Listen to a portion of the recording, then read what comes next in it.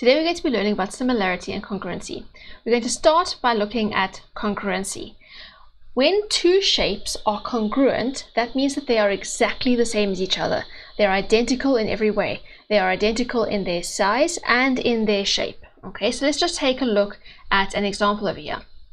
So here I've got a triangle. You've been told the sizes of the angles and the lengths of the sides, not in terms of actual values, but just you've been indicate you've been given indication of the fact that they are all different to each other. Now, if I take this and I duplicate it, so I have another triangle that's exactly the same. If you put this back on top, you can see it's exactly the same as the one I started with. Okay, so my two triangles are identical, identical to each other. These two triangles are what we call congruent. They have the same length sides in both triangles and the same size angles in both triangles. This triangle I can rotate, okay, and it is still congruent. So when you rotate or uh, one of the triangles, when you or one of the shapes, so long as you don't resize it. So if I go and do this, now it's not congruent anymore okay but so long as I don't resize it so long as I keep it the same size and the same shape it is still congruent even if I rotate it. I can also reflect it or flip it. Okay so if I do this over here it is now reflected. Okay so that is still the exact same shape. I just got a mirror image of it. But if I reflect it back again it will be how it started. Okay so it is still congruent to the one that I started with Right, so these are what we call congruent shapes. So in order for two shapes to be congruent to each other, they have to have the same shape. In other words, the angles must be equal to each other and they have to be the same side size. Their sides have to be equal. And over here, I see the corresponding angles must be equal and the corresponding sides must be equal. So all the sides in this triangle don't have to be equal to all the sides in that triangle. It's the corresponding sides and the corresponding angles that must be equal. Okay, the ones that match each other. Right, so if you have that, then you can say this over here, triangle ABC, and then this symbol over here means congruent. Okay, so that we're saying this triangle is exactly the same as triangle DEF. It is congruent to triangle DEF. Even if I have rotated one of the shapes, they are still congruent. So triangle ABC is congruent to triangle FDE. Now there's a reason that I didn't just write DEF here. We're going to still look at the naming of shapes when they are congruent. And then the same thing over here, even if it is reflected, the same thing applies. It is still congruent so long as I haven't resized it in any way, so long as I haven't stretched it or resized it even while keeping the aspect ratio the same, so long as I have kept the shape exactly the same size and shape, it is still congruent, even if I've rotated it, even if I've moved it, even if, it, if I have reflected it. Okay, so now I want you to take a look at the shapes in this activity and I want you to try and decide for each of the pairs of shapes over here, based on appearance, I haven't given you any of the lengths of the sides or anything, just based on what it looks like, I want you to, to try and to determine if these shapes are congruent in each pair or not. So I'm going to give you two minutes to work that out.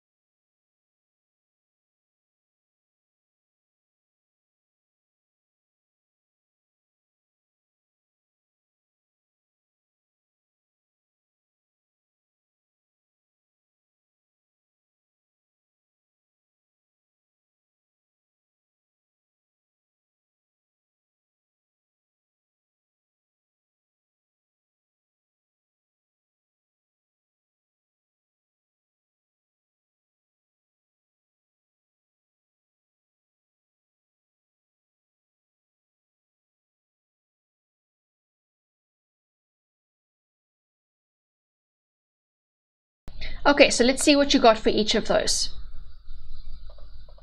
So in the first one, if you look at these two stars that you had, the lengths of the sides look like they may be the same, okay? But you can see that the angles are not the same. If I were to put this one on top of this one, then you'll see that they are not exactly the same as each other.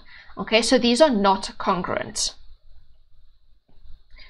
Question B, you had two triangles where if you take the one and you rotate it and you put it on top of the other one, you'll find that they are exactly the same.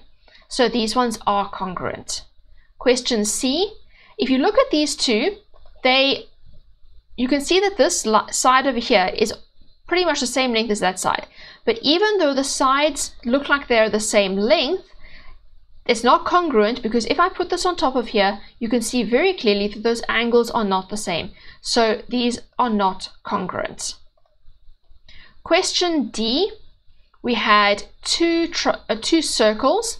One is clearly a lot smaller than the other one, so they are not congruent because even though they're the same shape, they are not the same size. Then question E, we had two shapes like this. They look like they might be congruent. If I take the bottom one over here and I flip it, if I reflect it like that, and I put that on top there, you'll see that they are exactly the same. So these two are congruent to each other. And then the last two, I have two triangles over here. Now, if I take this one and I rotate it, then if I put it on top, it's still not the same. But if I then go and I reflect it like that, they are then exactly the same. So in this case, I have one where the two shapes, where one of the shapes was not only rotated and not only reflected, it was rotated and reflected. It is still going to be congruent. So this is congruent. Okay, so now let's have a look at naming congruent shapes. Now remember I said that there was a reason when we had this one over here, or these examples over here, that I didn't just go A, B, C, D, E, F. There was a reason that I had to do F, D, E. Now I'm going to explain that to you here. Okay, so if you have two triangles that we know are congruent to each other, we've been told that these are congruent, then the order in which they are named is very special. Okay, they are named so that the angles in the two triangles that correspond to each other, that are equal to each other, are named in the same order in the two triangles. So if you look over here, angle A in this triangle is equal to angle F in that triangle. So A and F are both written first. Angle B in this triangle is equal to angle D in that triangle. So angle B, so B and D are written second, and angle C is equal to angle E over here. So C and E are written last. So when you are naming your triangles, you need to make sure that you name them so that the corresponding angles, the equal angles in the two triangles, are in the same order, like that. What also happens when you do that is you end up with the corresponding sides, which are the same length, also being in the same positions in the name of the triangle. So you'll see AB is first, FD is first, and AB and FD are equal to each other. So AB is equal to FD. BC is sec is middle to last and DE is middle to last. Over here, BC is equal to DE. BC is equal to DE. And then my first letter and my last letter, AC, over here, my first and last is FE. Those are equal to each other as well. AC is equal to FE. So over here, AC is equal to FE. So when you name it properly, two things should happen. You should have the corresponding angles that are equal to each other should be in the same order, and the corresponding sides that are equal to each other should also be in the same positions in the name of the triangle. Okay, now let's have a look at one where you are going to practice doing this yourself. So over here, you've got a few sets of triangles that you're going to compare, the first thing you need to determine is whether or not these triangles in each pair are congruent. If they aren't congruent, you just say they're not congruent. But if they are congruent, you need to try and name them properly. And I'm going to give you two minutes to work on this.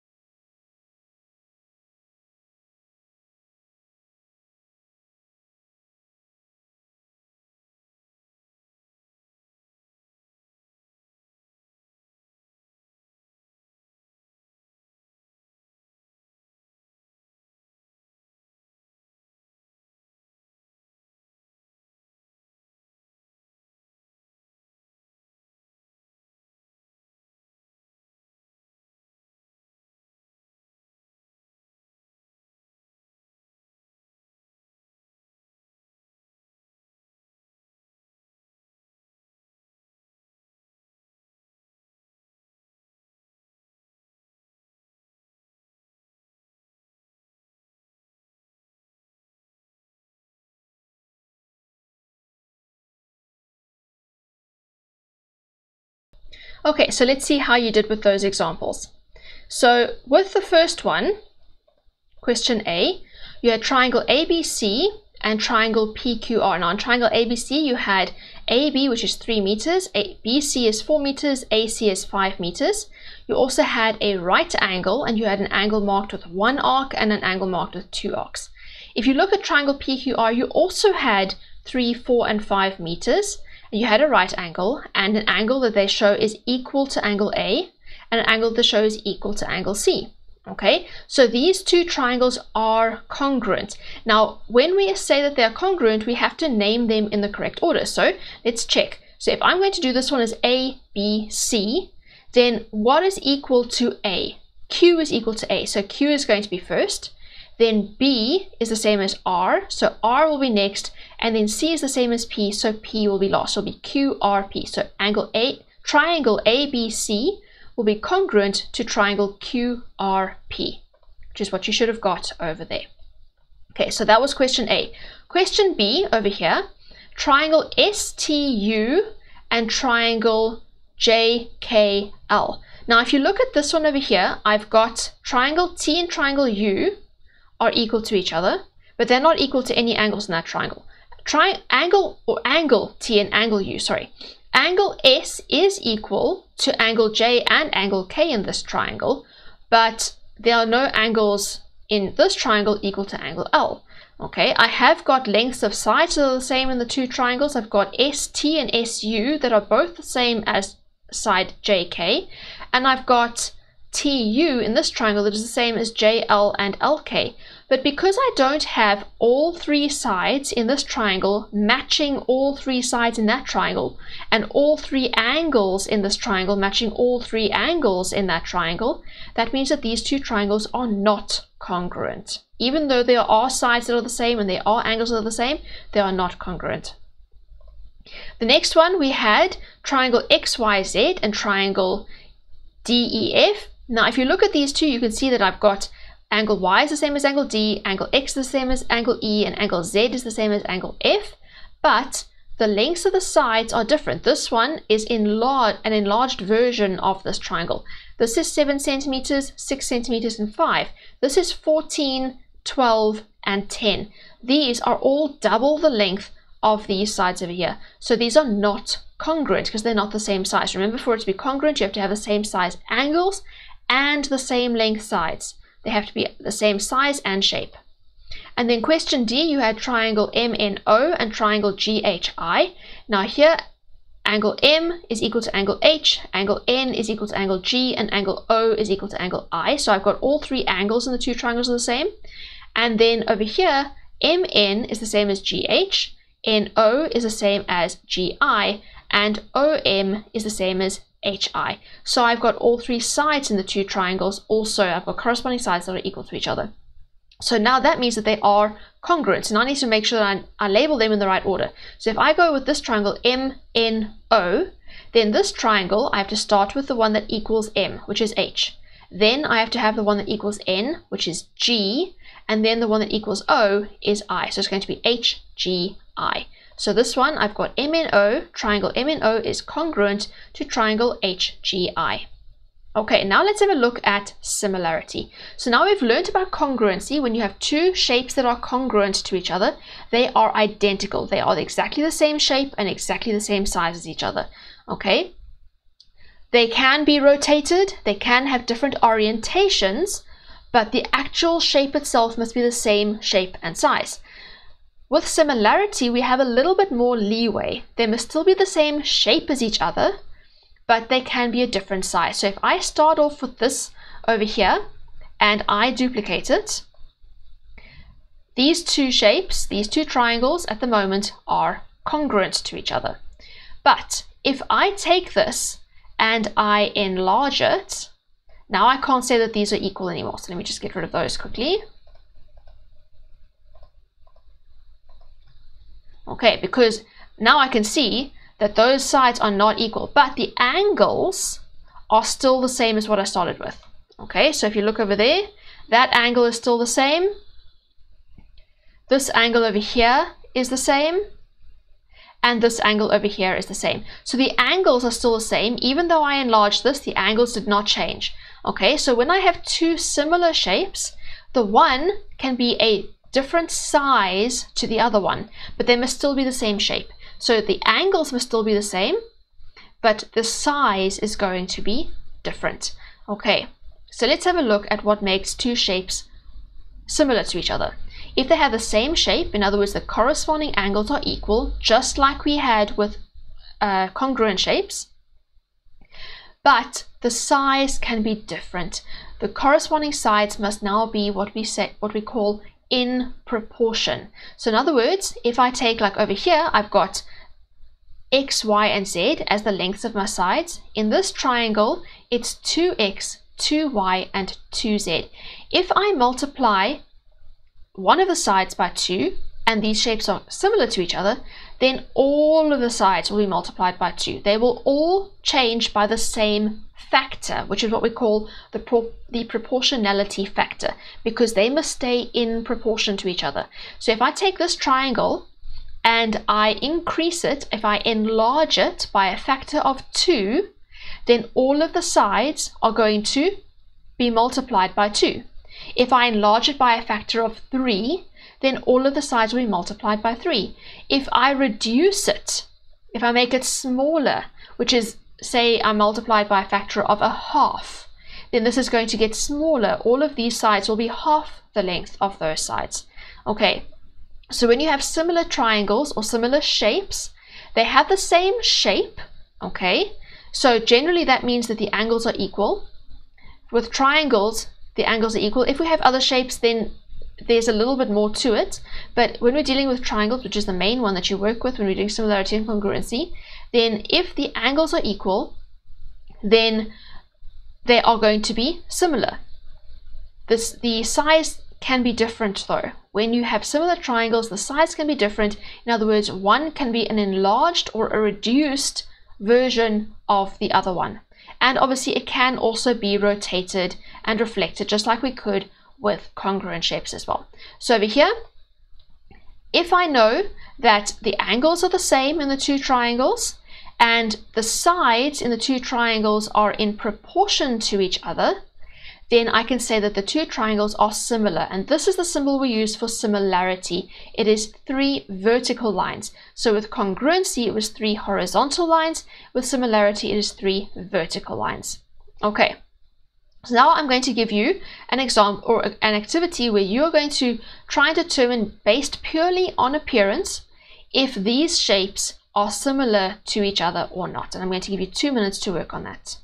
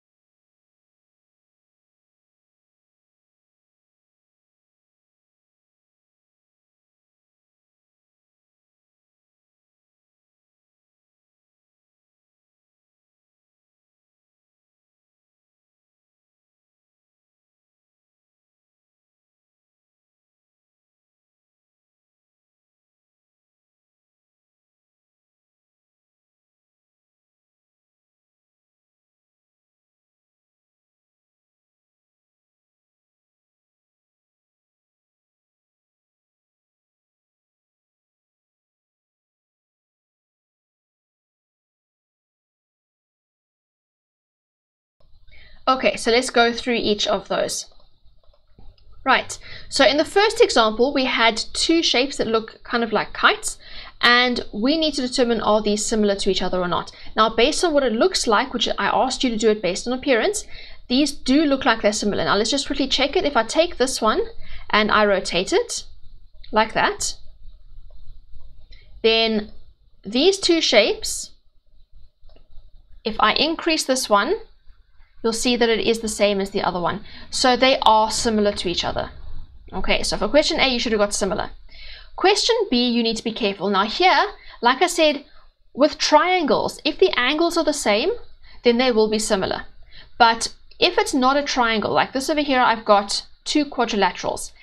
Both of them have got 90 degree angles. Okay, you can see that they look like they are square angles. So what happens now is if I look at this, the sides are not in proportion. This side over here is equal to that side, but this side is not equal. This side over here is bigger than that side. So the sides are not in proportion. Even though the angles are the same, the sides are not in proportion. So these are not similar to each other. Question C. We had two triangles.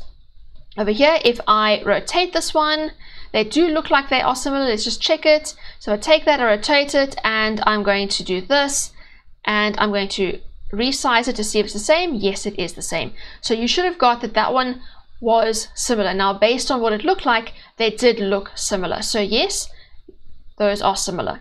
Now, this one may have been confusing, okay? These ones might look like they're similar, but they're actually not.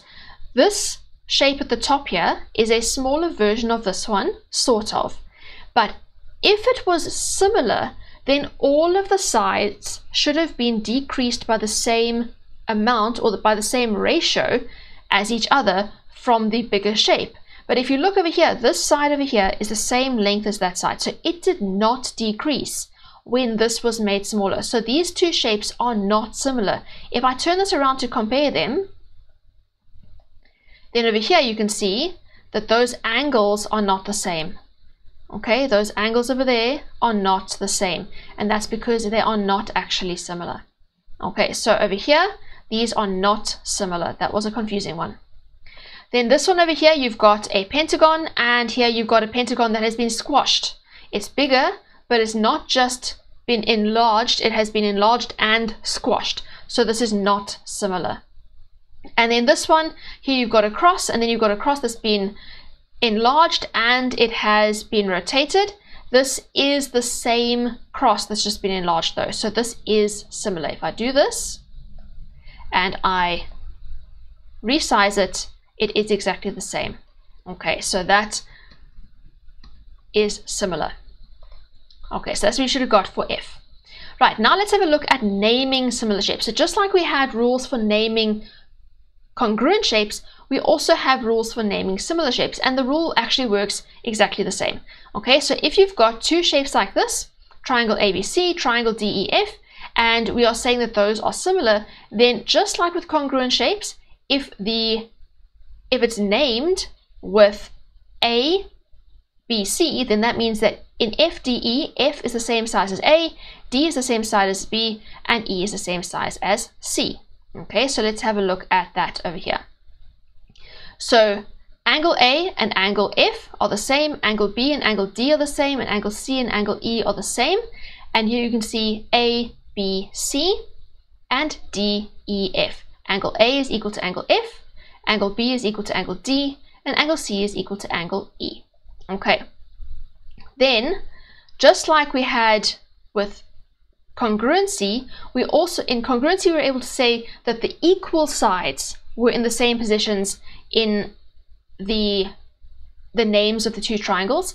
Here we can say that the corresponding sides are in the same positions. So over here, AB corresponds to FD. So if you look over here, AB is X, FD is 2X. BC is Y, DE is 2Y, and AC is Z, and FE is 2Z. So AB and FD correspond to each other. But they're not equal. So when I had congruency, I was able to say that AB was equal to FD. but I can't do that with similarity. So AB is equal to FD multiplied by a constant, whatever the, the proportionality constant is in this situation. In this case, it is 2. But it might not always be 2. It might be 3 or 4 or 5 or a half or anything, okay?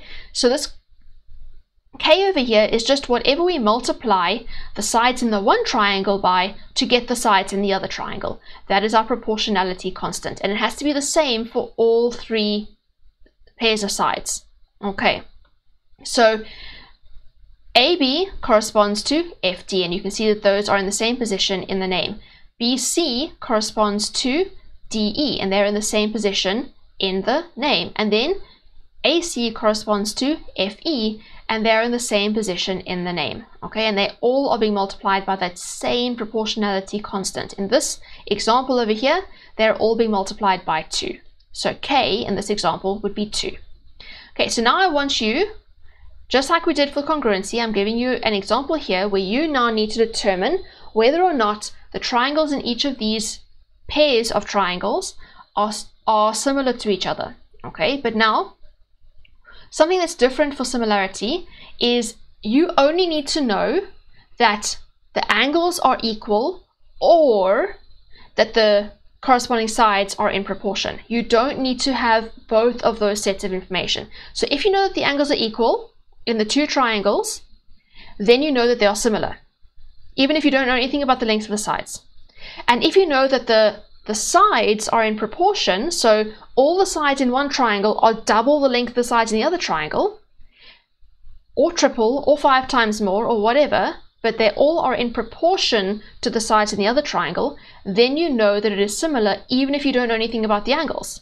Okay, so I want you to look at each of the examples over here and I want you to decide if these are similar or not. If they're not similar, you obviously just write not similar. But if they are similar, I want you to try and, and name the triangles in the correct order. Okay, so I'm going to give you two minutes to work on that.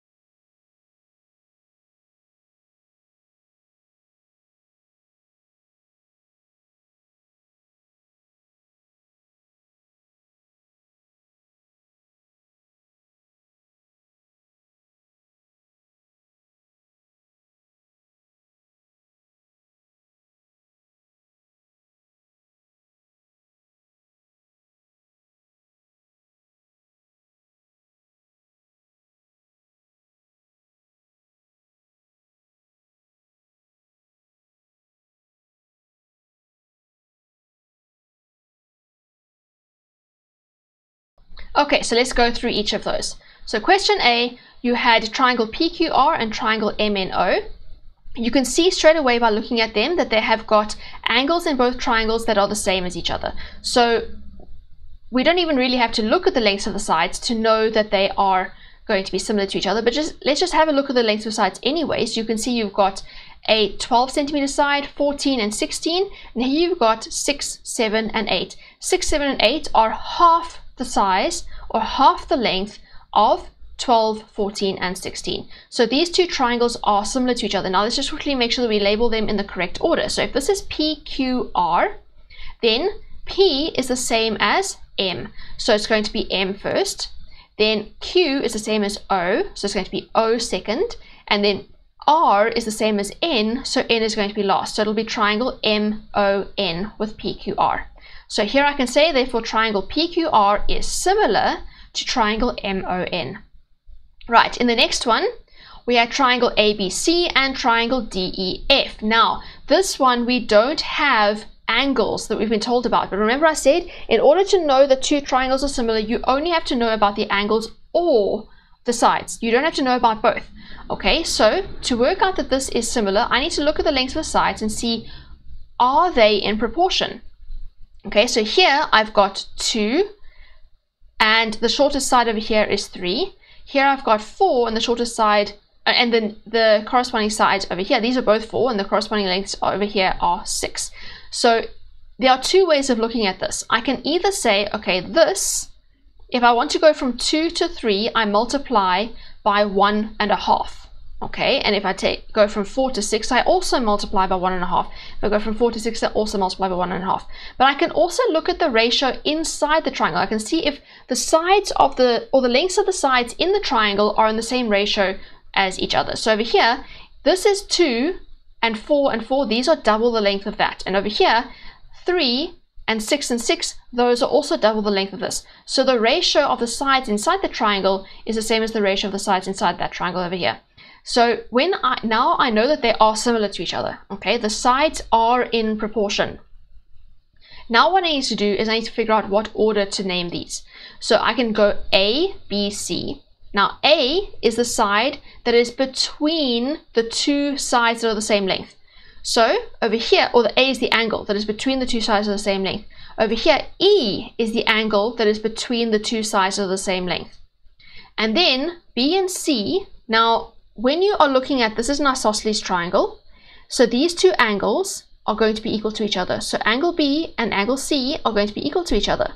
Same thing over here, angle D and angle F are going to be equal to each other. So it doesn't matter, the B and the C and the D and the F, they can go either way around, okay? The A has to correspond to E, but the B and the C and the D and the F are interchangeable in their order. So over here, you could have said that angle triangle ABC is similar to triangle EDF, or you could say the triangle ABC is similar to triangle EFD. So the A corresponds to E no matter what, because that is this angle over here. It's the angle that is between the equal sides.